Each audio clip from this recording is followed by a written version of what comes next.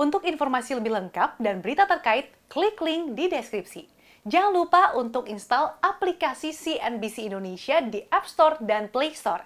Jangan lupa untuk subscribe ya.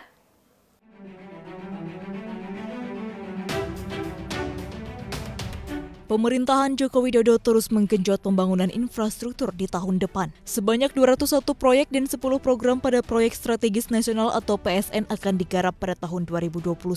Nilai investasi daftar PSN itu tak kurang dari 4.809 triliun rupiah. Proyek dan program PSN tersebut memperoleh pembiayaan yang bersumber dari APBN, APBD, BUMN, dan atau swasta. Menko Perekonomian sekaligus Ketua Komite Percepatan Penyediaan Infrastruktur Prioritas mengatakan 201 PSN dan 10 program itu telah memenuhi beberapa kriteria seperti kesesuaian rencana strategis, rencana tata ruang, memiliki peran strategis, memiliki nilai investasi di atas 500 miliar rupiah, dan penyelesaian konstruksi paling lambat di kuartal 3 2024 serta mendukung pusat kegiatan ekonomi.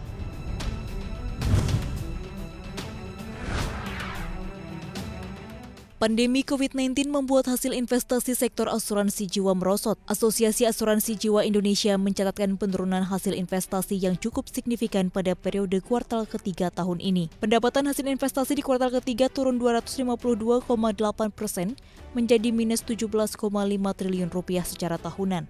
Dan secara kuartalan, dari kuartal kedua ke kuartal ketiga tahun ini juga masih turun sebesar 84,6 persen dari 26,2 triliun rupiah menjadi 4,05 triliun rupiah. Ketua Bidang Marketing dan Komunikasi AAJ, Wiroyo Karsono mengakui sektor asuransi jiwa masih menghadapi tantangan akibat pandemi COVID-19. Sebab total pendapatan premi industri asuransi jiwa dan hasil investasi masih melambat. Namun AAJ optimis bahwa pada akhir tahun 2020 ini kondisi akan mulai membaik. Hal tersebut didorong oleh mulai pulihnya kondisi pasar modal di Indonesia dalam dua bulan terakhir. Selain itu, harapan vaksin COVID-19 yang bisa peluncur di awal tahun 2021 dinilai menjadi sinyal positif akan investasi di tahun depan.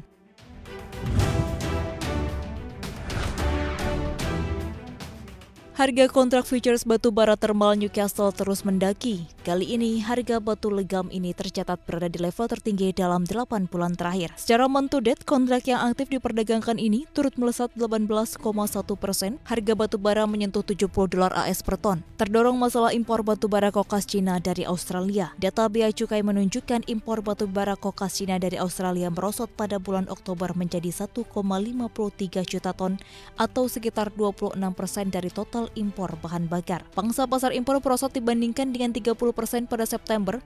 Berbeda dengan Australia yang ekspor batu baranya ke Cina bermasalah, Indonesia justru kedatangan berkah. Cina akan membeli batu bara thermal senilai 1,4 miliar dolar AS dari Indonesia tahun depan. Alhasil kenaikan harga batu bara yang signifikan sepanjang bulan ini, plus kabar baik dari Cina, membuat perusahaan-perusahaan tambang batu bara di tanah air bisa lebih sumringah.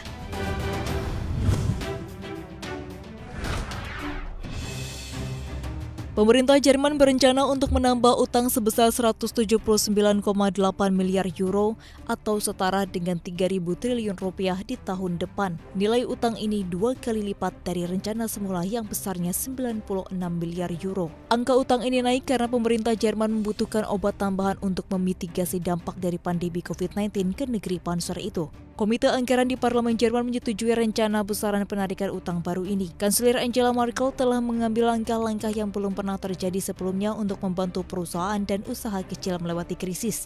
Merkel menggelontorkan miliaran euro untuk mencegah ekonomi menyusut lebih jauh. Untuk mendanai tindakan tersebut, negeri Pensor itu perlu meminjam lebih dari yang direncanakan. Pemerintahan Merkel memperkirakan ekonomi Jerman menyusut 5,9 persen di tahun 2020, namun akan kembali melesat 4,4 persen di tahun depan.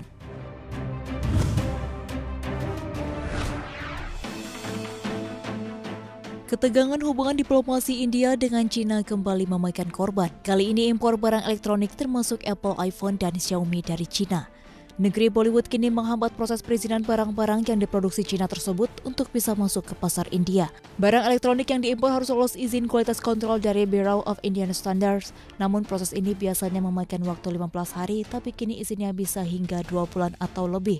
Sejak Agustus 2020, Bureau of Indian Standard telah menunda izin untuk impor perangkat buatan Cina seperti smartphone, smartwatch, dan laptop. Langkah ini ditenggarai akibat bentrok di perbatasan Himalaya yang menewaskan 20 tentara India. Sebelumnya, India juga memblokir 220 aplikasi milik Cina dengan alasan keamanan nasional.